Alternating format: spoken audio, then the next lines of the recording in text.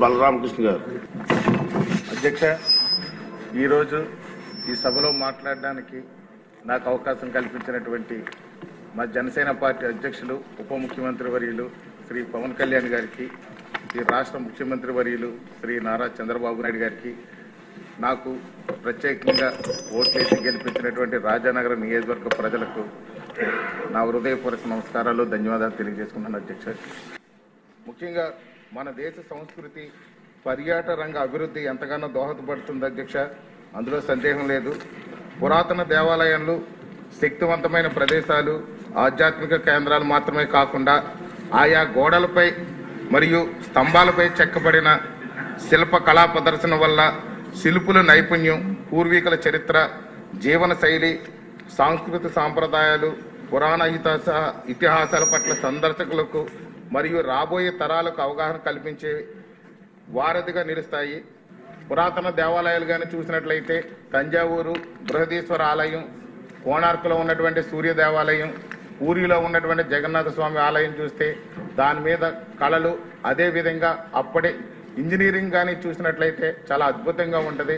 ఎప్పటికీ కూడా భావితరాలకు అందించే విధంగా ఉంటుంది. మన పూర్వీకులు ఎంత కష్టపడి ఎంత నైపుణ్యంతో చేశారనేది కూడా మనకు అర్థమవుతుంది అధ్యక్ష. ఇప్పుడు కానీ చూసినట్లయితే ఈ పర్యాటక రంగం చాలా అభివృద్ధి చెందాల్సిన అవసరం ఉంది. రెండు వేల ఇరవై ఏడులో పుష్కరాలు కూడా ఉన్నాయి. దీని మీద ఈ పర్యాటక రంగం అభివృద్ధి చెందితే అక్కడ స్థానికంగా ఎక్కడైతే అభివృద్ధి చెందుతుందో అక్కడ స్థానికంగా తయారయ్యే కొన్ని వస్తువులు వాళ్ళ చేతి వృత్తి వాళ్ళు చేసుకునే వస్తువులు కూడా గిరాకీ పెరుగుద్ది. అక్కడ ఉద్యోగ ఉపాధి అవకాశాలు దొరికితే అధ్యక్ష అదేవిధంగా మనం మన తమిళనాడులో చూస్తే టెంపుల్ టూరిజం ఎంతో అభివృద్ధి చెంది వాళ్ళకి ఎంతో ఆదాయాన్ని సమకూరుస్తుంది.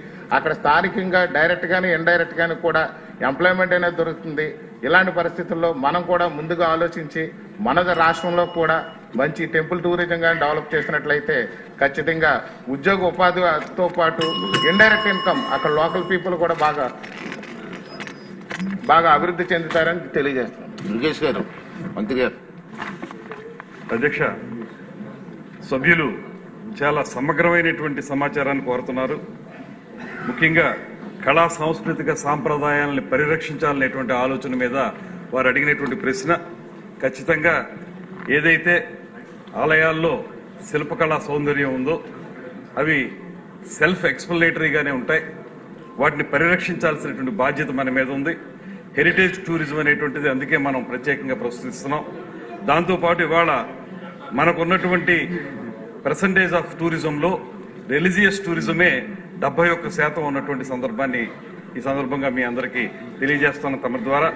దాంతోపాటు వారు చెప్పిన పుష్కరాల సందర్భంగా ఏదైతే గోదావరి నదీ పరివాహక ప్రాంతం ఉందో ఆ ప్రాంతం అంతా కూడా ఉన్నటువంటి వివిధ ఆలయాలను అభివృద్ధి చేయటం మాత్రమే కాకుండా అన్నిటికంటే మించి ఉప ముఖ్యమంత్రి గారి యొక్క ప్రత్యేకమైనటువంటి శాఖ అయినటువంటి పర్యావరణ పరిరక్షణ అనేటువంటి దాన్ని దృష్టిలో పెట్టుకుని పర్యావరణాన్ని అదేవిధంగా మన సంస్కృతి సాంప్రదాయాల్ని వాటన్నింటినీ కలగలుపుకుని ఒక సమగ్రమైనటువంటి టూరిజం యాక్టివిటీని డెవలప్ చేయడానికి ఇప్పటి నుంచి ప్రయత్నిస్తా ఉన్నాం. ఇరవై ఒకటి పుష్కరాల నాటికి దాన్ని పూర్తి స్థాయిలోకి తీసుకురావడం జరుగుతుంది.